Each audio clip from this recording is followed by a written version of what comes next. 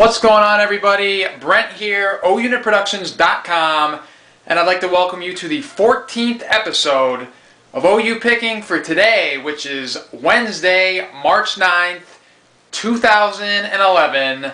Um, busy today, just shipped out a couple packages, was at the post office doing that. Um, picked up some uh, items for the review show, which I do this week. Um, picked up some uh, boxes and some other um, items. The words right now are not quite coming out the head, but picked up that. Yesterday I was out picking my first flea market of the season, which I'm more than excited about. Also picked an antique shop as well as a auction huge, huge time at the auction, huge, amazing, fun time at the auction. Did very well. Um, to see that and to show you what I've been getting, let me get into that here. Um, here you can see some of the items, well, all the items, quite a bit of items. Uh, this is the most items that I've had to share with you guys for a while. More than excited about that. Not even sure where to begin. I guess I'll start up here. I picked up this piece Monday, as a matter of fact. This is a Tuborg beer sign. It's a pretty cool piece. I've never really seen nothing like it.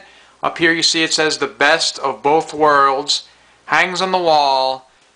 Uh, made out of some sort of uh, cloth or I'm not exactly sure what material this is made out of.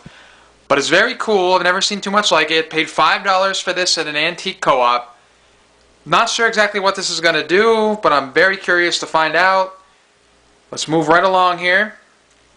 Picked up this clock yesterday, clock slash light, at the very first flea market I was at this season. It's got a place in here for two lights. You can kind of see the one there. There's the housing for the other. Haven't yet plugged this in. Uh, back and forth bartering to try to get this piece, but I ended up paying $25 for it. Not sure exactly what it's going to do, but I think I'm going to definitely turn a profit on that one. Why we're in the beer, this is my third piece here. A Miller High Life light. It's a very, very cool piece. Haven't plugged this yet in either, but I'm pretty sure it works. Um, picked this up at the flea market you see it has $15 price on it. I bartered and traded and yada yada yada a little bit, hacked that down. 12 bucks for this piece. Not sure exactly how it's going to do, but I can definitely see getting at least a 12 bucks. I was hesitant because it's Miller High Life. It's not really a sought after beer, but I mean, there are people that drink Miller out there. It is old, it is cool looking. I like the way it's shaped, like the colors in it, like the look of the guy featured on the front here. 12 bucks. See how I do on that. There's the three beer pieces I shared right there. I might even have more, I don't think so, but let's move forward here. Um, here you see up here five different cheese graters. Can't really see them all. You can kind of see them there. You can get them all in. Paid a dollar at the auction for all of these. Five of them for a dollar. I've sold one before on eBay for I think $2, $3. They don't go for much, but I mean five for a dollar, you can't really go wrong with that. Right below that here you see Mutual Pretzel Tin. Um, this is probably about a $20, $25 piece, maybe a $15 piece. I've sold numerous chip and pretzel tins in the past. Generally speaking, unless you get a rare one, which I'm not sure about this one quite yet anyway, they go for around 15 to $20. Um, 10, 10, 15, 20 dollars. This one I paid three dollars for at the auction. Was pumped for that. Was one of the only people bidding on it. More than excited to get that.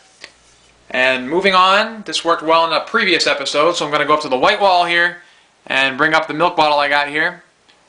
From the farm to you, fresh, wholesome milk. Let me put it down so I can switch it around in my hand here. And you see it is Young's Way Farms from Williamsport, PA. Basically real close to where I was with the auction. I was in Hughesville for this auction.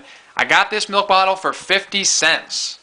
50 cents that's the kind of price you want to pay for things like this, but still, it's, you know, the advertising isn't worn away. The bottle's in pretty good shape, a little bit dirty. I'll clean it up. Definitely going to make profit on that one at 50 cents. Next up, what do we got? We got these cool hockey skates here. I actually forget what brand these are. It's Union Hockey.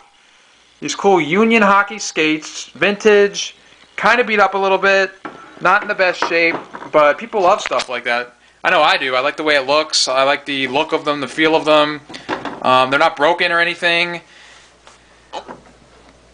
Just worn a little bit, but they're very cool. Regardless, picking them up for five dollars. Definitely like those. Definitely see making a profit out of those. I got these at a uh, antique co-op on Monday, two days ago. Here, these are the like I said, these are the finds for the last two days. I've been out picking hardcore, just hitting the road, going. I'm gonna save some of this stuff till the end here. Let's move over here. Okay, you see some other stuff I have in the background here, so sorry for mixing it all in. But next off, College Inn Spaghetti. No lid. I mean, it's obviously, you know, they got the spaghetti out. They use the can opener and open this one, obviously. But, got a little bit of damage there. I fell in love with the color. I sell all kinds of tins and just like them in general. Sometimes they don't bring too much money, but I definitely have made profit on a lot of them. I've never really lost money on any of them that I believe. I took on a couple dollar loss here and there on certain items, but I don't think any tins I've ever lost money on, which is something really cool to say. But $5 for this. Just had to have it. It's not worth probably too much more, but you never know. Definitely like that piece. Let me set that to the side here. Next up, we got... Oh, by the way, I got that at a co-op. I think I said that. Not quite sure. Been a busy couple days. Cooper. Sharp cheddar cheese box. I've got a couple cheese boxes before. I've always done well with those. This one I paid a dollar for. It doesn't got the lid, but it's in pretty good shape. Definitely got to make some money there. Put that to the side. Next piece. I really didn't even bid on this. Got this at the auction. Let me get out of the light there. Really didn't even bid on this. It's a sleeve ironing board. Pretty cool looking. I mean, generally it's something that I wouldn't bid on. I mean, if it was cheap at a yard sale, I might pick it up. Just seeing how it has the cool old logo on there. B-E-H Co. Broadway, New York. It's actually a lot cooler now looking at it than I originally thought. But I got this for 50 cents at the auction. I actually was bidding on that milk bottle, which I already showed you. But it got lotted with this. This was up for auction first. Nobody bid on it, as I didn't either. But the milk bottle came up. It got to a dollar bid. I think I was the second bid after a 50 cent bid. and I got both pieces. One dollar. Gonna make money on both of those. Um, me put this on the floor here because I'm kind of getting stuff all over the place. Uh, can't get into this too much here. I'll try to open it up. Running out of room. This is the most packed my little showcase has been here in my home office for quite a while now.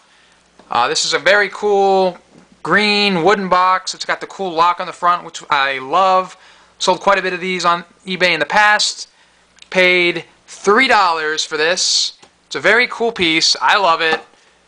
Just a classic wooden box, a nice green box.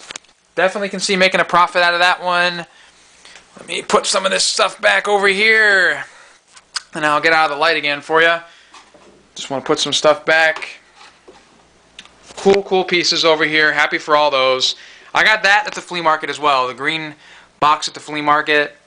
Um, that Cooper box was at the flea market.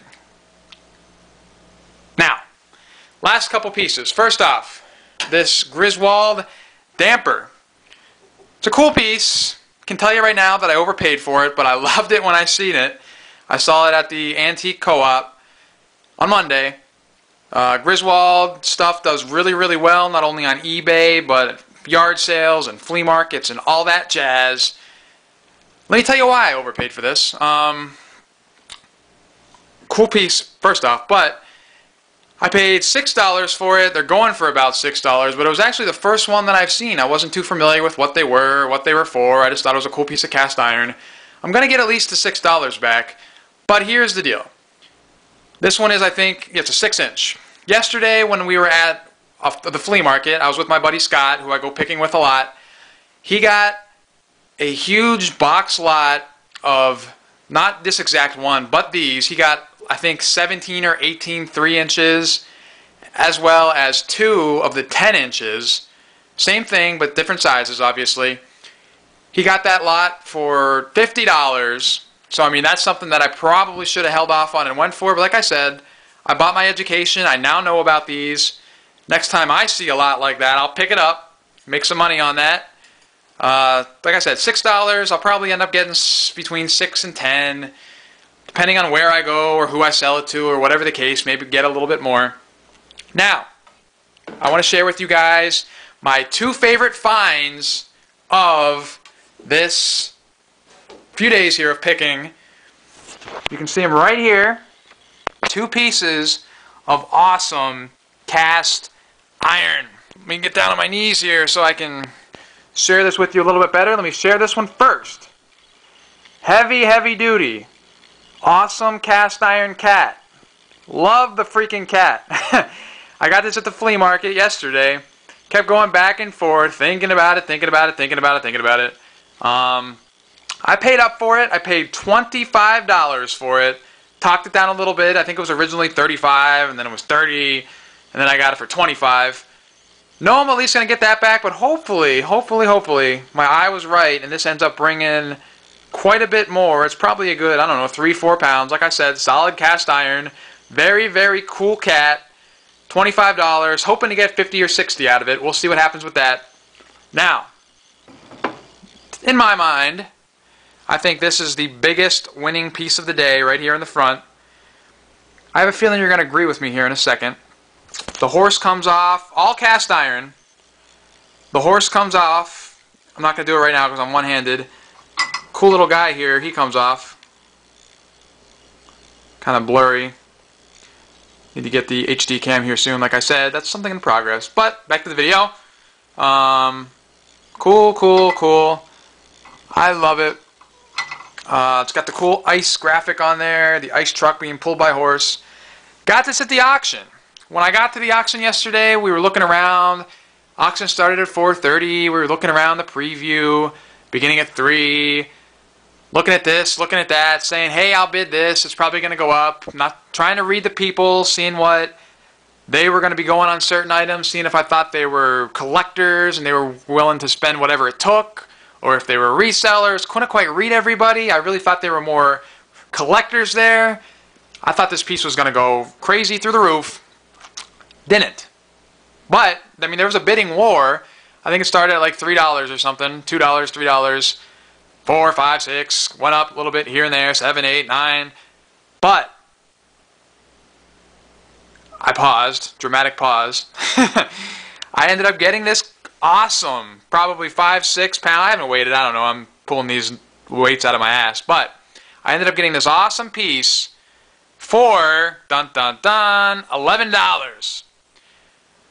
Sometimes I'm dramatic about the pricing, but ladies and gentlemen, this piece I can sell this for 30, 40, 50, 60 dollars every day of the week.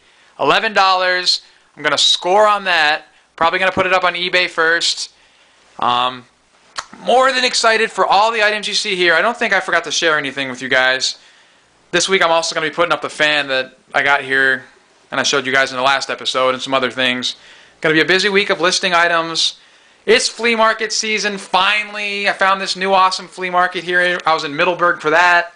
The auction, like I said, was in Hughesville. Traveling all around Pennsylvania. Just more than pumped. Cannot wait to list some of these items. Cannot wait to get my booth at the co-op. Cannot wait to set up at the flea market. As always, guys, I just want to know what is your favorite item that you see here? What do you think will bring the most money on eBay? Dun dun dun! and, um, but again, you might like something more than that. I kind of like the beer sign as well, this Ballantine beer. Um, check out the stores, stores.ebay.com slash ounitproductions. And I will see you guys again on the next episode of OU Picking. Thanks, guys.